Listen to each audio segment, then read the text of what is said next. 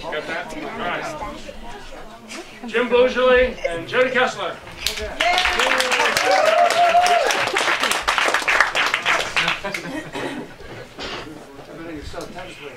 Can you hear me? Everything's okay? Unfortunately, yeah, unfortunately, you can hear me. Yes, okay. Well, it's nice to be back at Spark Fest again after a year. You recall, I think the name of this my particular uh, program this evening is Something Seasonal Part Two.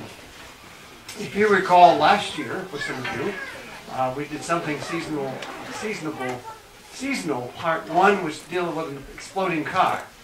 So this is something seasonal part two, uh, which means, well, it wasn't exactly in January. This, this story I'm going to tell you took place actually in December. Actually, in December, a long, long time ago. When I first got out of college, I looked for a long time for a job and finally found a job teaching sixth grade in an elementary school uh, in northern New York. They didn't pay much, and the janitorial services weren't very good, but at least it was a job. So since there, there was no janitorial services, I spent the end, at, at the end of the day, I would spend some time cleaning up the classroom, erasing the blackboards, tidying up the desk, sweeping the floor, and so forth. I'd spend about, an hour doing that every day. And then one day, one of my students suddenly appeared and started helping me. I looked at him. I knew him, and it was Matthew, a slightly less than regular sized boy with large brown eyes very silently helping me. Uh, I knew Matthew, like I knew all my students. He, he was a particularly sad case. Um, his father died when he was born. Born. He was raised by his mother until he was eight or nine years old. Then his mother passed away. He was now 11, and he was being raised by his maiden aunt, who very a tall, mean woman who never ceased to tell him how lucky he was that she was that he was living with her, because otherwise he'd be in an orphanage or on the street or worse. But Matthew never said anything about that when he was helping me. He didn't say anything at all, hardly, except sometimes he'd talk about his mother and how kind she was, and how loving she was, and how she made him feel good most of the time. So I thought that was nice. And then one day, Matthew disappeared. He didn't come at the end of the next day. He didn't come the following day, following a week. So finally, I stopped Matthew at the end of the class one day. said, Matthew, where were you? I thought you were coming helping at the end of the, end of the class. He said, well, he looked down and said, I've, I've been busy or something like that. I said, well, I'm sorry. That's too bad, Matthew, because you were one of my favorite helpers. And he looked up at me with those large brown eyes and said, you did? I said, yes, and I always enjoyed talking with you. You were a really nice fellow to talk with. And Matthew says, I was? yes.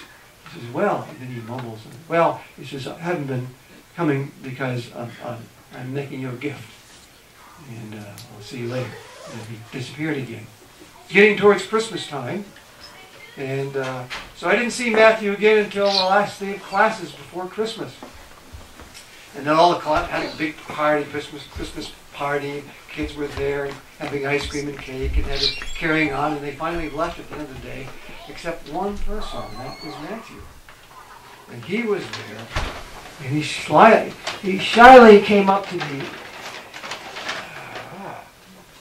And he said, you know, I, I have your Christmas gift, Mr. B. I said, oh, yeah, really? Well, what, what is it, Matthew? And he gave me this box. I said, well, that's really beautiful, Matthew. What is it? Can I, can you hear me now? Yeah. Can I, can I see it? Can I see what's inside? Can I, can I look in? Can I look inside, Matthew? Is there something I can look at? He says, No, you, you can't see what's inside. You can't feel it. You can't taste it or touch it. But it makes you feel good all over, warm on cold nights, and safe when you're all alone. I said, Well, Matthew, what is it that could possibly make me feel good all, all over, warm on cold nights, and safe when I'm all alone? He said, uh, it's love, Mr. B. And Mom always says, it's best when you give it away. Aww. Then he hugged me and left us and it disappeared.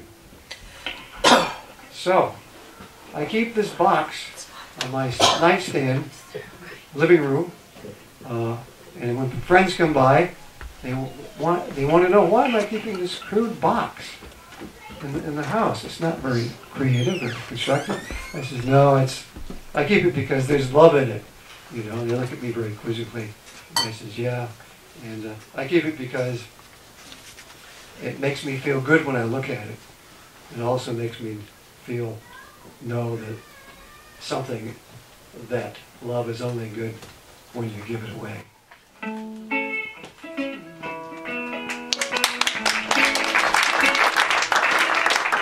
Love is something if you give it away, give it away, give it away.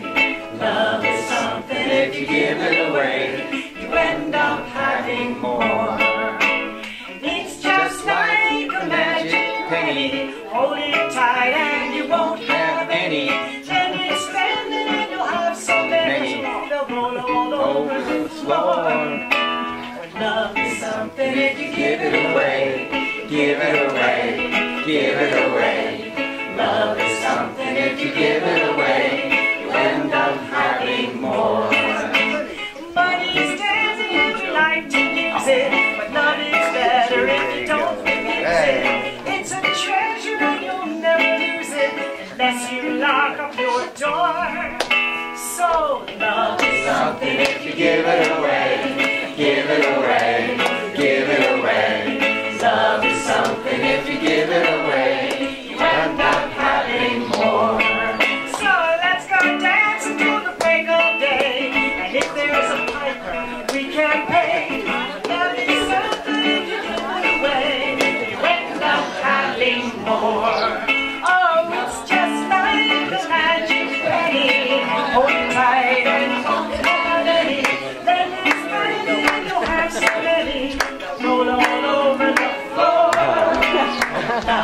something if you give it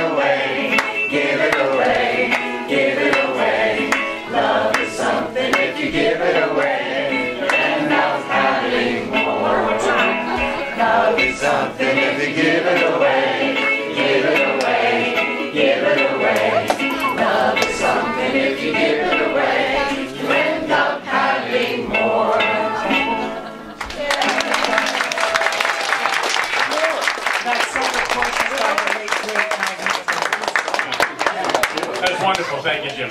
So, um, I don't have the list, but thank you to all of the people who brought wonderful refreshments and desserts for us now.